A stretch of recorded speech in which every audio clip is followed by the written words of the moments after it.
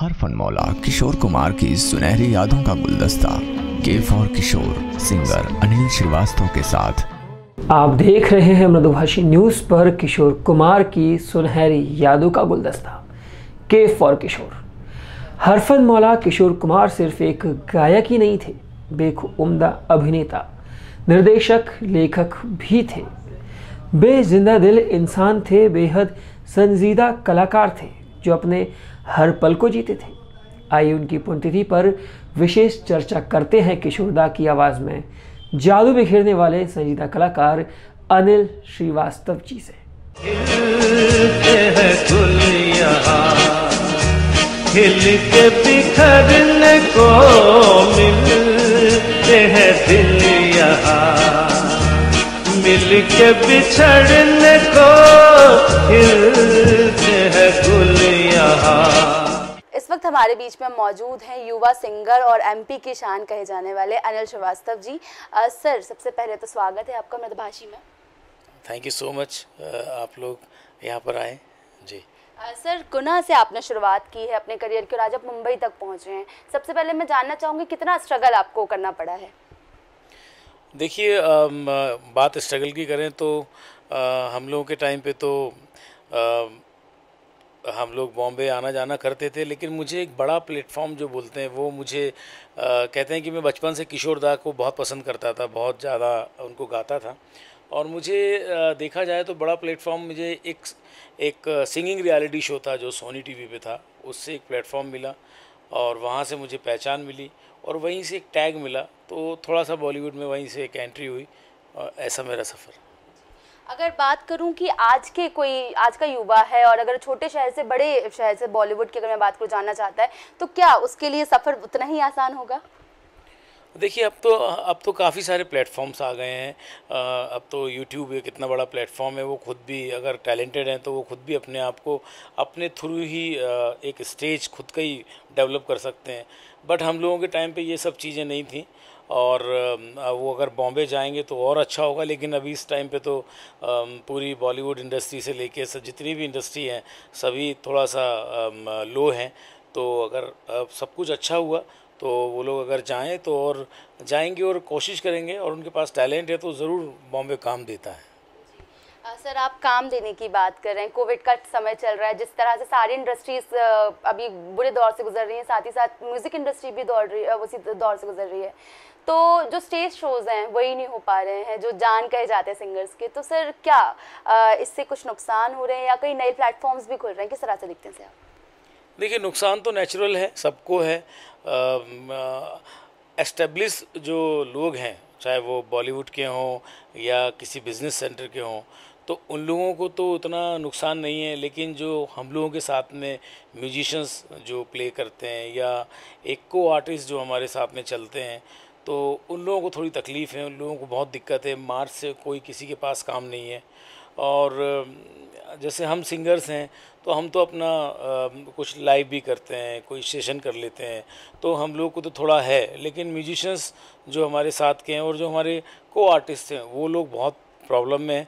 हमारी इंडस्ट्री को लेके भी और अदर इंडस्ट्रीज़ हैं, चाहे वो फैक्ट्रीज़ हों, चाहे वो इंडस्ट्रियल एरियाज़ हों तो वहाँ के भी जो छोटे लोग हैं, वो बहुत तकलीफ़ में हैं इस टाइम तकलीफ़ों की बात कर रहे हैं। कई लोग होते हैं, जैसे छोटे आर्टिस्ट हैं, अभी जस्ट मुंबई पहुँचे हैं और एमपी से ही है, मान लीजिए। तो अगर उनको कुछ दिक्कत होती है तो उनका भी क्या सपोर्ट के लिए कोई ऐसा कोई ग्रुप काम कर रहा है या कुछ तरह, किसी तरह से आप लोग मदद करने की उनकी कोशिश करते हैं?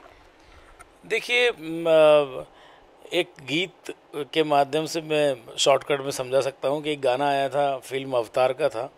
दुनिया में कितना गम है, मेरा गम कितना कम है। लोगों का गम देखा तो मैं अपना गम भूल गया। तो मदद के लिए काफ़ी संस्थाएँ हैं, लेकिन इतनी ऐसी पोजीशन इस टाइम हमारे देश की आप लोगों को मालूम है कि हर आदमी को ही मदद की ज़रूरत है। कुछ संस्थाएँ भी काम कर रही हैं। हमारे बॉलीवुड के आपने देखा होगा, बड़े एक्टर सोनू सूद जी ने भी बहुत मदद की, सभी की, और सलमान खान जी भी मदद करते हैं। तो कई हैं संस्थाएँ, अगर कुछ लोग तकलीफ़ में हमारी इंडस्ट्री से रिलेटेड तो उनकी भी मदद कहीं ना कहीं तो हो रही है। बॉलीवुड के बड़े एक्टर्स की बात कर रहे हैं हम तो नेपोटिज्म में कभी काफ़ी ज़्यादा जो शब्द है वो निकल के सामने आया। सुशांत सिंह की जो मौत हुई है, उसके बाद काफ़ी ज़्यादा इस टॉपिक पे बात हो रही है। तो क्या इसका इम्पैक्ट सिंगिंग करियर पे भी पड़ रहा है? क्या सिंगर्स को भी इस चीज़ से गुजरना पड़ा है? किस तरह से दिखते हैं आप? वैसे मैडम, मेरी तरफ़ से तो इसमें नो कमेंट्स हैं। लेकिन फिर भी इतना मैं कहना चाहूँगा कि आप किसी भी प्रांत से हैं, किसी भी प्रदेश से हैं और जहाँ से भी आप आते हैं और जहाँ भी आप जाते हैं तो वो आपका भारत है, आप उसके नागरिक हैं। तो आप बिंदास काम करें और काम करने भी देना चाहिए। अगर मैं, अगर कोई बॉम्बे आता है या मैं बनारस जाता हूँ या बनारस के इलाहाबाद जाते हैं तो सबको काम करने का अधिकार है। और अगर वो काम से आगे बढ़ते हैं तो नेचुरल सी बात है, उनका काम अच्छा होगा तभी। और देखा जाए तो सुशांत सिंह जी एक बहुत अच्छे एक्टर थे। मैं तो उनका बहुत बड़ा फ़ैन था। मैंने धोनी मूवी कई बार देखी। और उनका जाना एक वाकई हम लोगों को बहुत बड़ा दुख है, झटका है और एक बॉलीवुड को भी बड़ा नुकसान हुआ है। लेकिन अब इसमें क्या योगदान है, किसने क्या किया, वो तो आप लोग टीवी चैनल्स और न्यूज़ के माध्यम से देख रहे हैं। वो सब एक जाँच के विषय हैं। बाकी सुशांत सिंह सिंह जी का हम सब लोगों को काफ़ी दुख है। सर, आखिरी सवाल, किशोर दा की पुण्यतिथि आ रही है आप बहुत ज़्यादा मानते भी हैं उनको। तो फैंस के लिए, उन जो किशोर दा के फैंस और मदभाषी को जो देखने वाले हैं, उनके लिए क्या कहना चाहेंगे? देखिए, सबसे पहले तो मैं ये कहना चाहूँगा कि मृदभाषी एक नाम ही मुझे बहुत अट्रैक्ट किया। जब मुझे पता चला कि मैं इस चैनल के लिए इंटरव्यू कर रहा हूँ तो मतलब आप सोचिए, मृदभाषी मतलब कितना एक स्वीट सा नाम है। और जितना अच्छा नाम है, उतना अच्छा आपका चैनल भी है। मैं रोज़ आप लोगों के जितने भी न्यूज़ के कंटेंट्स होते हैं, वो देखता हूँ। आप लोगों के यूट्यूब के लिंक्स देखता हूँ। और बहुत ही सिस्टमेटिक तरीके से आपका न्यूज़ चैनल काम कर रहा है। और, इस मृदभाषी चैनल के माध्यम से मैं सबको यही कहना चाहूँगा कि किशोरदा की पुण्यतिथि है।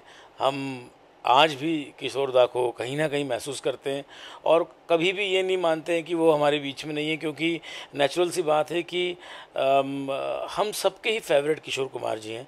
जब भी, जहाँ भी हम लोग कहीं बैठते हैं तो उनका गाना तो हम लोगों को बाय हार्ट याद है।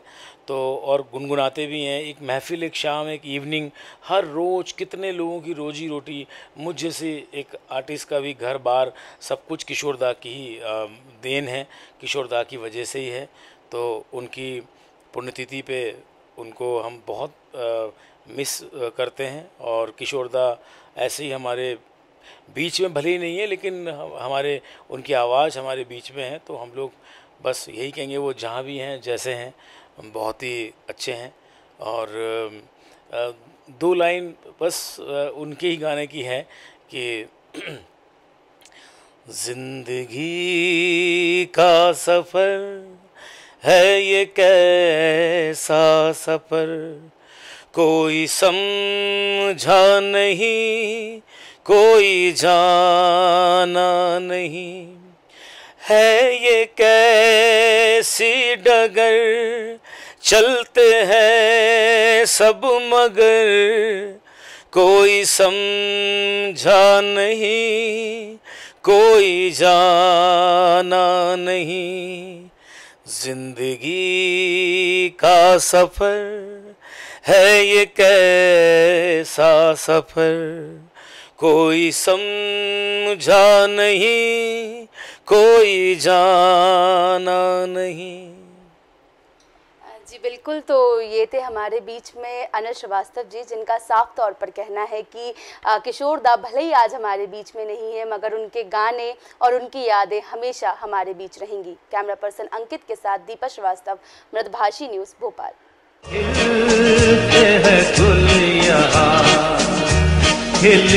बिखरने को मिलते हैं दिल यहाँ। मिल के बिछड़ने को खिलते हैं गुल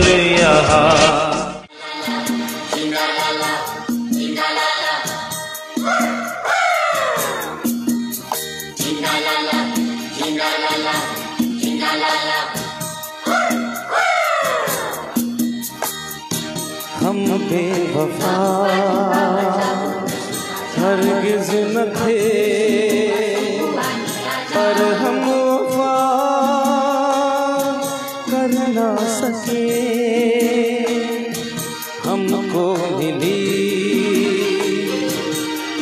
उसकी सजा।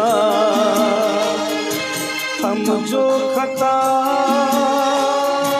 कर ना सके, हम बेवफा हरगिज न थे, पर हम वफा कर ना सके।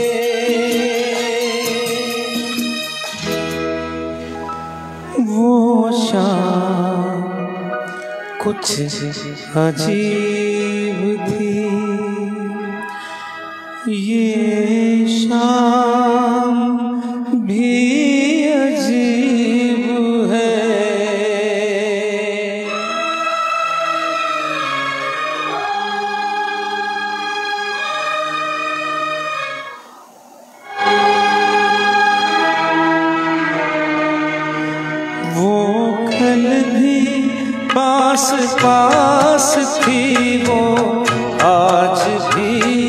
करीब है वो शाम कुछ अजीब थी ये शाम भी अजीब है, वो कल भी पास पास थी वो।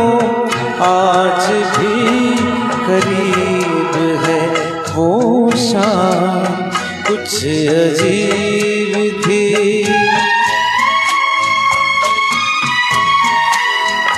की हुई निगाह में कहीं मेरा ख्याल था।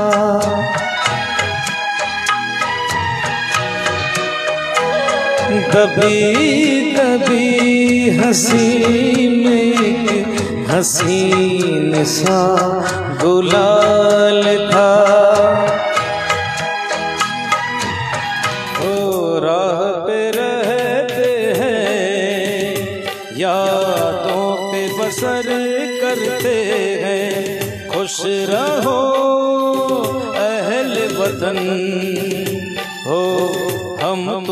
सफ़र करते हैं। राह पे रहते हैं, यादों पे बसर करते हैं। खुश रहो, अहल वतन। हो, हम तो सफ़र करते हैं।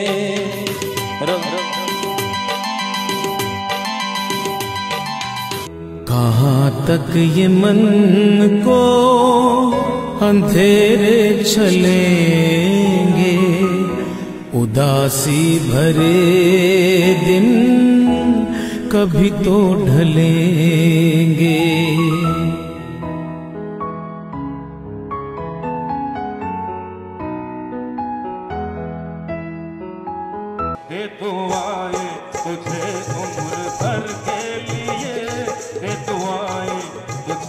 उम्र भर के लिए।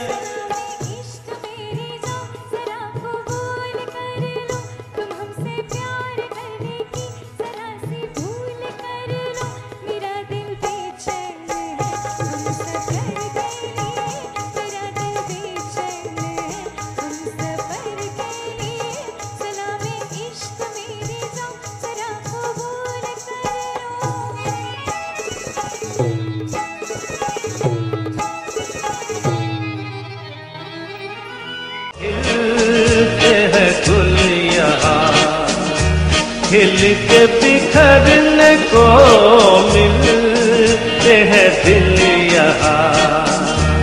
मिल के बिछड़ने को खिलते हैं गुल यहाँ।